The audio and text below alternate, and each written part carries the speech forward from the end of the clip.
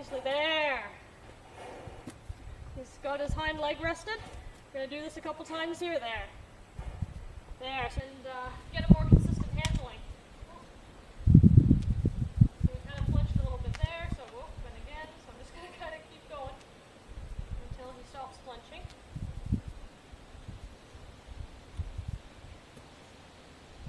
There, very nice. Whoop. Alright, so we have a little bit there. Which was to show you that uh, the exercise is completely developed. But even though he reacted, he came back really nice. With my uh, rope here, with the shoulder, there we go.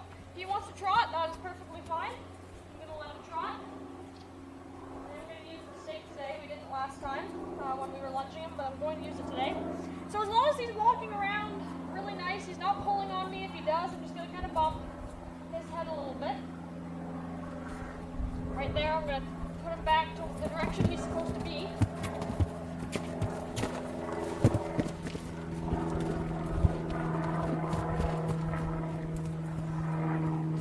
So as long as he's moving around me in the direction that I want him to go and he's not pulling on me, I'm just gonna let him go. I'm gonna let him move his feet.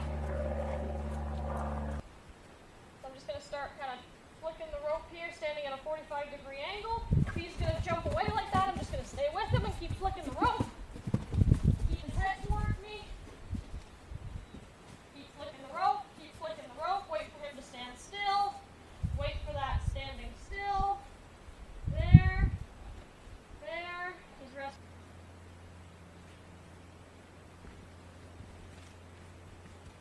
So again, same thing as the last session there. He's reacting at my hand coming up to touch him. So I'm just staying with him, scratching his cheek there when he stands still. I'm going to bring him back up to where we were standing. And then I'm going to try again to come to that side. Touch him with my hand. Keep my hand there until he stops moving. Rub, rub, rub.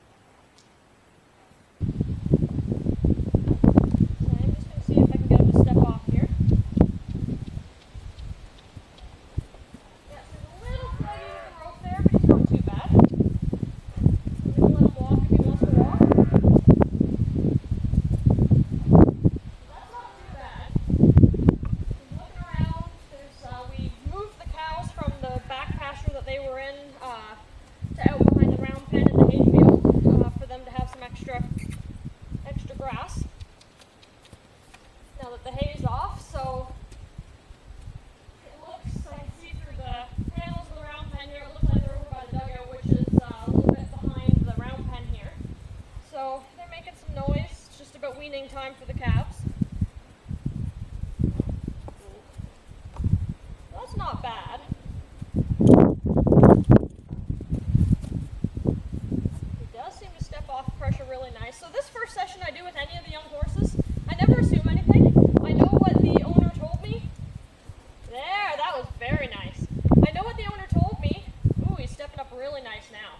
There, look at his lips already. Back, back, very nice.